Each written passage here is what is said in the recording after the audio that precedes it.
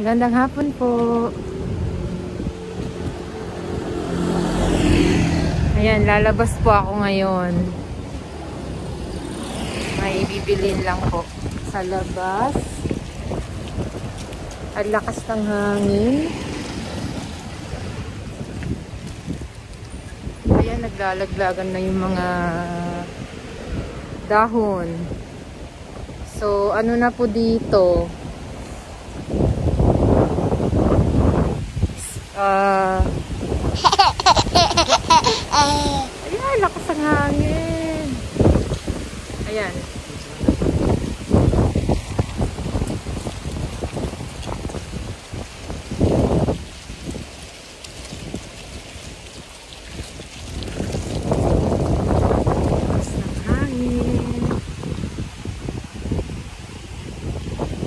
Windy. Windy. Ayun po. Walis ng walis si ano si Lolo. Yan po yung dito. Ah, autumn na. Autumn na po. Lamig na naman. Ayan, maganda ng mga ano. Mga leaves. Yellow na siya. Red.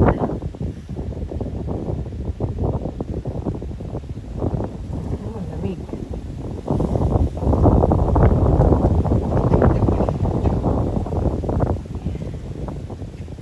Naman nag-exercise po.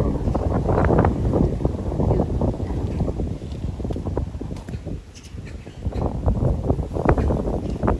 Nag-exercise. So, para sa labas.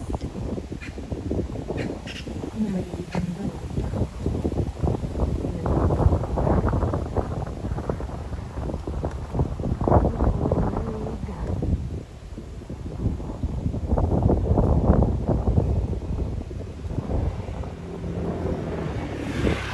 Tignan niyo po, ma malamig pero tignan niyo po yung araw. Maganda sikat ng araw. Yung sarap din magkakapag sa labas.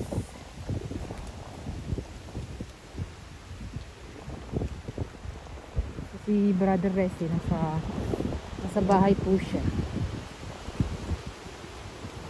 So, two weeks po kaming pahinga. Two weeks walang pasok. Sa bahay, kaya para magbibili lang punta ako ng bangko. Ano, sobrang ano, lakas po ng hangin. Ayan po. Diba? Ang lakas ng hangin.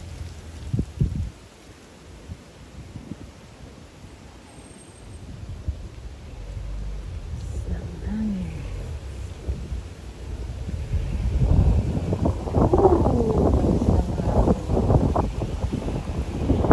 So, andito na po tayo sa bangko. So, sabi po, notice, no face mask. Ayan. Ayan. So, pasok lang po ako. Oh, ang ganda. Ang ganda po ng tree. Ayan. Ganda po ng tree. Ano? Kulay red, orange. Ayan, unti-unti na nag-ano yung mga ano, mga dahon.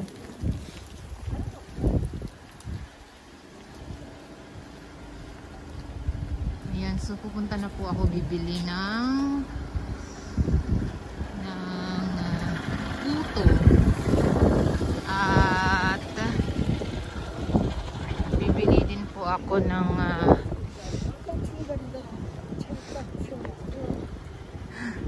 nagsasalita si nanay kasi nakaharang tong sakyan dito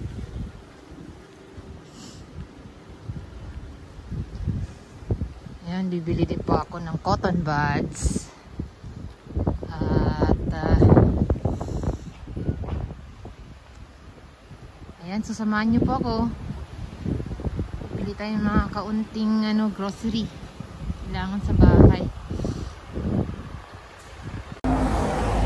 Ayan po, nasa daan po ako.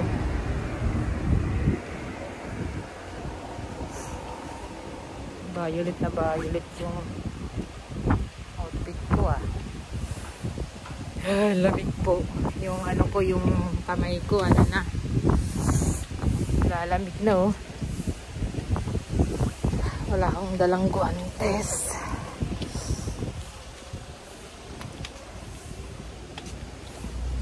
Ayan, unahan ko na si si tatay.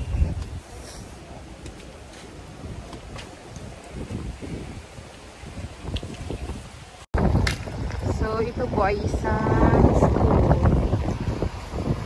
Ayan, itong pangalan ng school.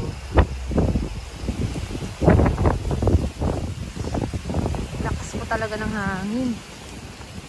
So, pangalan ng school, Korea Polytechnics. Ayan po. Ayan.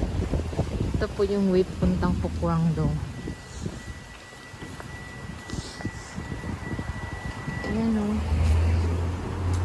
Lakas din ng hangin.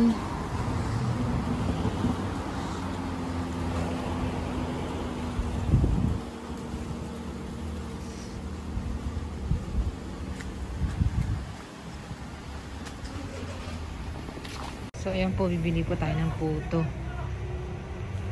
Ito, masarap. Bibili tayo ng dalawa.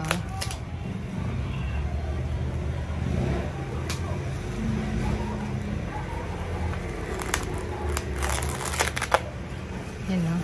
Sarap, no? Mukha siya masarap. Bayad tayo ngayon.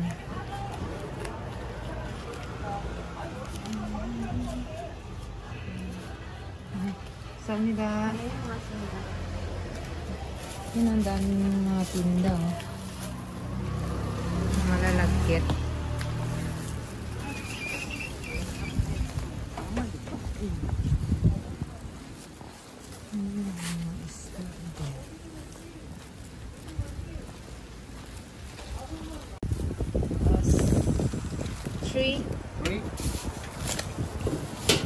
Ayun ang sarap po ng mais oh.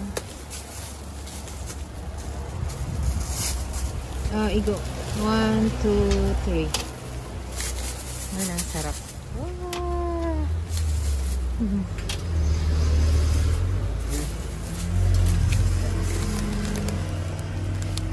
One, two, three. Oh, sorry, sorry, sorry. No, no, this one. this one.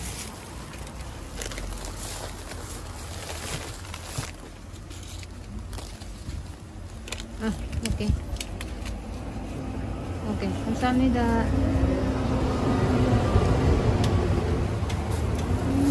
Ayan na ang mais. So ayan po bibili din po tayo ng grapes. Ayan. Grapes grapes. So ayan na po yung pinamili natin. Ilan lang nasa list ko pero hmm, ang dami ko na naman namili. Ayan, may yogurt. May tissue at tissue. Ito masarap po itong yogurt na. Fresh cream yogurt. Yan, paborito ko yan. Ano naman yung paborito ni So, mga guys, pauwi na po ako. So, yung pinab pinamili ko po is, uh, pinadeliver ko na lang. Kasi, Mabigat siya pagka, kasi lakad lang po ako.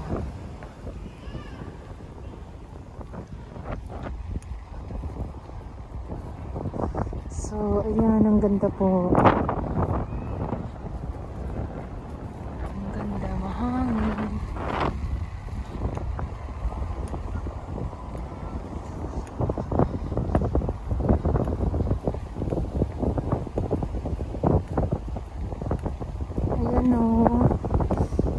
ano siyang leaves kaunti na lang. Ayan.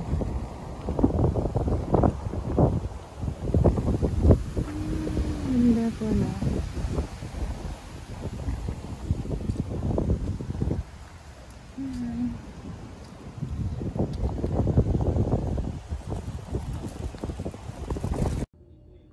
So, ayan na po yung ano, yung delivery. Buksan natin. Ayan, so lagay ko muna po ito.